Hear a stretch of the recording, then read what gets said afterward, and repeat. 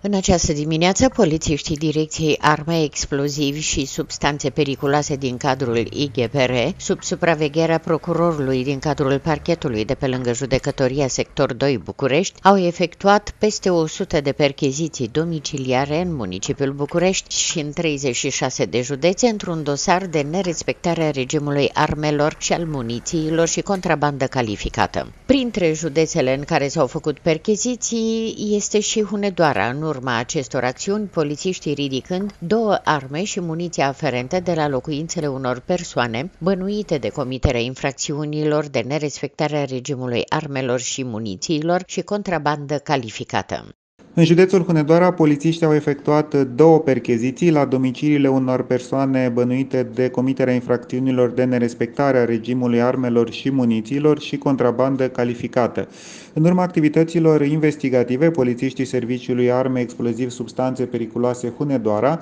au ridicat pentru expertizare și continuarea cercetărilor două arme neletale supuse autorizării, un pistol și o carabină ambele cu aer comprimat, precum și muniția aferentă. Acțiunea este una la nivel național și vizează creșterea gradului de siguranță prin scoaterea din circuitul ilegal a unor arme ce au fost introduse pe teritoriul României prin intermediul unor firme de curierat rapid. În perioada iulie-noiembrie 2021, polițiștii Direcției Arme Exploziv și Substanțe Periculoase au documentat activitatea infracțională a unei persoane juridice cu sediul în Ungaria, care, prin intermediul unui site web, ar fi comercializat pe teritoriul României către persoane fizice arme din categoria celor supuse autorizării și diferite tipuri de muniție aferente acestora, fără a respecta condițiile legale de procurare. Activitatea infracțională națională s-ar fi desfășurat prin plasarea de comenzi către magazinul online, iar din depozitul situat pe teritoriul Ungariei ar fi fost livrate armele și munițiile către cumpărătorii români prin intermediul firmelor de curierat care introduc bunurile în țară fără a declara acest fapt autorităților vamale și fără a îndeplini condițiile solicitate de legislația națională în acest domeniu.